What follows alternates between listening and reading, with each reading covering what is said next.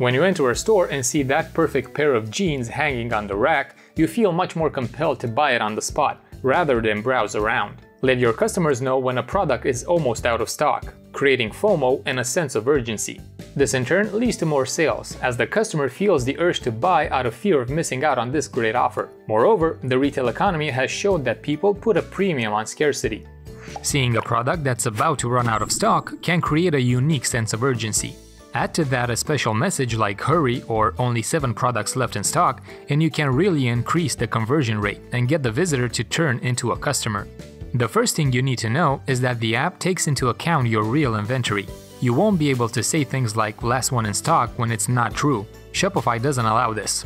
If you don't believe me, read their acceptable use policy. Not to mention that the same information will appear on all your product pages, and it will make your store look like a scam. The app checks the inventory of your selected option and displays a message based on the amount of items you have in stock. There is a threshold above which we won't show any message. Your customers would not want to know that you still have a thousand pieces in stock for a certain product. In our case, on our demo store, that threshold is 20, so a message is shown only if the inventory of a product variant is less than 20.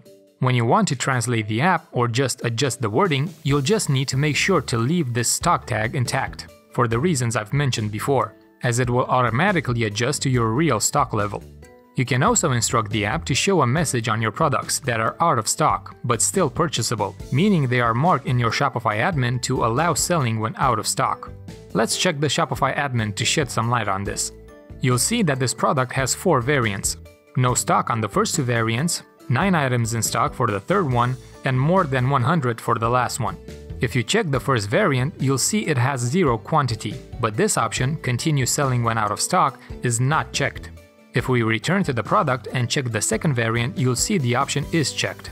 The Stock Scarcity app in Vitals will display the message for this option, but not for the first one as it's out of stock. Let's return to Vitals and activate the app. Now let's check the product and force refresh to clear the browser's cache faster. The second variant is selected, the one that had no stock but is purchasable, and you can see here the message.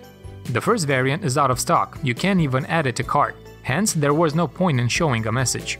The third variant has 9 items in stock, hence the appropriate message.